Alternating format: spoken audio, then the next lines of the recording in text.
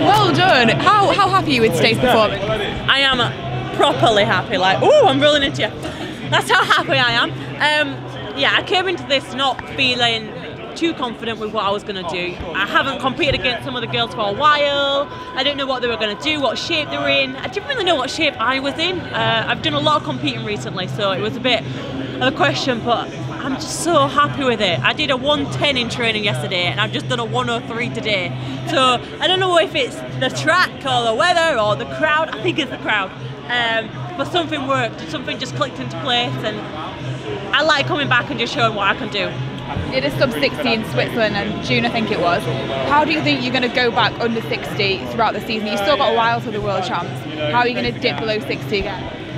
We've gone back into heavy training now, so kind of doing our winter early, and uh, you know that's why I was a little worried about what was going to happen today. But I do truly believe that it can happen again. I got something else within me, and I just have to keep trusting my coach and trusting myself and, and trusting the process, and uh, and hopefully it'll just happen.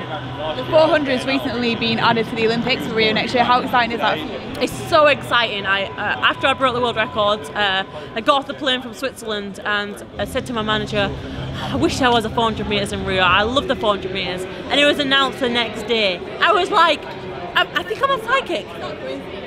I, I, think I must have sent some little messages to someone, um, but it was just fun. It, it's such a fantastic event and it's exciting that we get three girls at a gold medal as well or I do anyway. So I've got the chance of triple world champion triple world Paralympic champion. I mean I'm slowly catching up with Dave Weir. Usain Bolt as well. Yeah you know I've got four events three events now and he's got two so. Kind of better. Thanks well done